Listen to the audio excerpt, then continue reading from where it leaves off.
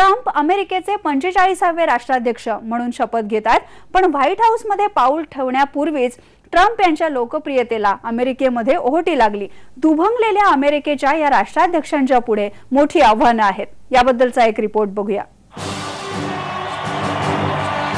दुभंगलेली मन असुरक्षितता वाद प्रतिवादाच्या गडद छायेत डोनाल्ड ट्रम्प यांनी अखेर ट्रम्प टॉवर सोडलाय. मात्र व्हाईट हाऊसमध्ये शिरताना ट्रम्प यांची लोकप्रियता कमालीची ओसरली आहे. सध्या ट्रम्प यांची लोकप्रियता चव्वेचाळीस टक्क्यांपर्यंत खाली आली आहे. अमेरिकेच्या इतिहासात नवनियुक्त राष्ट्राध्यक्षाची लोकप्रियता एवढ्या खाली कधीच गेली नव्हती.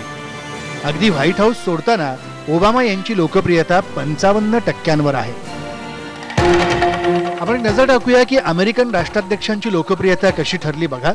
जॉर्ज बुश ज्युनियर अठ्ठावन्न टक्के बराक ओबामा अडुसष्ट टक्के डोनाल्ड ट्रम्प चव्वेचाळीस ते चाळीस टक्के. दुसरीकडे ट्विटरवर एकाच फटक्यात प्रतिस्पर्ध्यांना लोळवणाऱ्या ट्रम्प यांच्या पुढे प्रत्यक्षात मोठी आव्हान आहे. या प्रश्नावर ट्रम्प नेमकी काय भूमिका घेणार ते बघावं लागेल. ट्रम्प यांच्या पुढची आव्हानं आपण पाहूयात. सिरियामध्ये तुर्की रशियाची युती कशी भेदणार? इसिस विरुद्धची अमेरिकेची रणनीती काय? कार्बन उत्सर्जन कमी करणाऱ्या पॅरिस कराराचं आता पुढं काय? इराणसोबतचा अणुकरार अणु करार रद्द करणार का? दक्षिण पूर्व आशियामधील चीनचा वाढता लष्करी प्रभाव कमी कसा करणार?